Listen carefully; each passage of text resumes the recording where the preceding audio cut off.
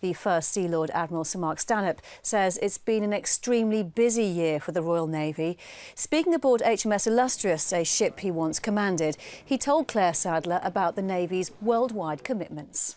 Well, as you'd expect and hope, the Royal Navy's been actually uh, very, very busy, with about 70% of all available warships being deployed, with uh, on average uh, over 4,000, but at times uh, more than 6,500 personnel deployed or preparing to, uh, to, to, deploy.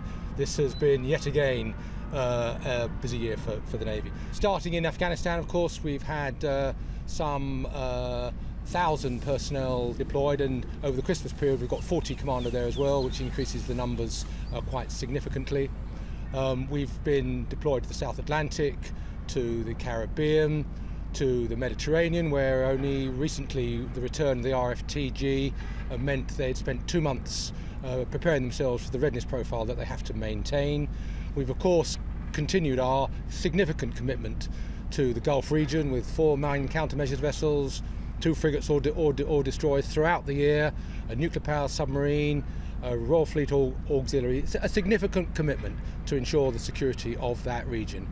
That, that doesn't, of course, uh, forget the 43 years now of continuous at sea deterrence, uh, which I think is a major achievement and a significant uh, piece of our business. And with the Queen's Diamond Jubilee and with the Olympics, it's been an equally busy year closer to home, hasn't it?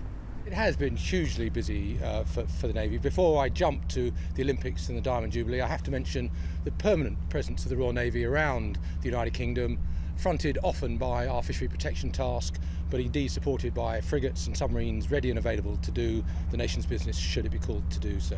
But the Olympics, uh, massive involvement of the armed services, probably the greatest involvement since World War II, fronted in by the Navy in Marines and sailors uh, uh, being part of the security requirements for the venues themselves, and more publicly, of course, HMS Ocean on, on the Thames, uh, providing security to, if you like, the river flank of the um, uh, main venue, uh, and HMS Bulwark uh, off Weymouth, providing the command and control and security aspects for the delivery of the sailing events themselves. A very, very busy time.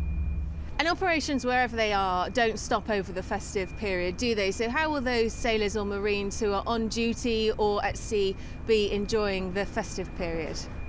I would very much hope that uh, those sailors and marines are, are deployed have the opportunity uh, with the appropriate connectivity to, to, talk to their families sometime over the, the, the, the, festive period. I hope they have a time, time during Christmas and Boxing Day themselves to be able to sit down together uh, with their chums and their oppos uh, to celebrate the, the, the, event itself and open those presents that have got to them through tortuous routes, I suspect, uh, be they in the Gulf or in Afghanistan.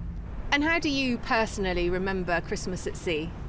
Um, in the length of time I spent in the, in the Navy, I spent a number of Christmases away from home, not always at sea. Uh, I remember distinctly a, a, a, a, Christmas day in the Ministry of Defence, which is probably better forgotten. Um, but uh, uh, when I was in command of HMS Orpheus, we spent Christmas down in the Falkland Islands, where we had, had a very traditional Christmas at anchor uh, off one of the islands them, themselves, where the wardroom served Christmas lunch uh, festively to the rest of the ship's company uh, before they sat, uh, sat down themselves. I've had a number of very close shaves.